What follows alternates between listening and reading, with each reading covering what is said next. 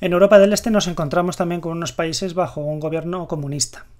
Son sus propios gobernantes los que forman sus partidos comunistas y los que gobiernan los países, pero que están sometidos a lo que decide el Partido Comunista de la Unión Soviética. Es decir, es realmente el Partido Comunista de Rusia, el central, el que marca las directrices para todos los demás países de su entorno. Es decir, como podéis ver ahí, la Alemania del Este, Polonia, Checoslovaquia, Hungría, Rumanía, todos estos, todos estos países van a tener, que ir siguiendo las directrices de la URSS. Y eso les lleva en algunos casos a distintos conflictos. Estos se fueron especialmente manifiestos en Hungría en 1956, que pedían mayor apertura, pedían ciertas reformas, se oponían al centralismo soviético y que la respuesta que obtuvieron de la Unión Soviética fue directamente una invasión. Los enviaron los tanques del Pacto de Varsovia para aplastar cualquier tipo de intento de subversión y su presidente pues tuvo que rendirse.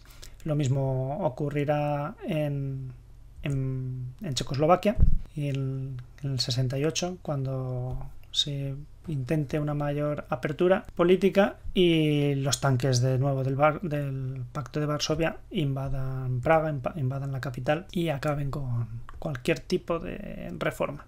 En Polonia también encontraremos algunos conflictos en los años 70 y 80, pero en general todos estos conflictos serán de baja intensidad porque son muy rápidamente reprimidos por las autoridades soviéticas. De manera que no llevan a enfrentamientos largos ni a guerras.